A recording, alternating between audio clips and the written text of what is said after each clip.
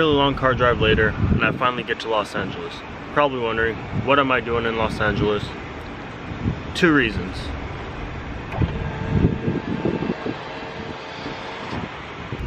One of the reasons I'm here, meeting up with a friend, hopefully. Second reason, gonna go check out this awesome museum. So, let's go.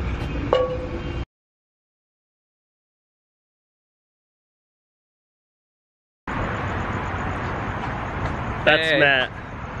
Hey. So we went to the museum and where else? Uh, went to the Beetle House, LA. Fucking awesome. How was the museum? It was really cool. Um, kind of creepy. I'm not gonna sleep properly tonight, I guarantee that. But uh, it was really awesome. Would And- you recommend it? Oh, I recommend it highly to anyone who likes seeing like gory shit and kind of all of that. Can I swear on this? Is that cool? Uh, all right, well, sorry, but it's good. It's good. If you're gonna go see it, you better get used to kind of like bad language and shit like that.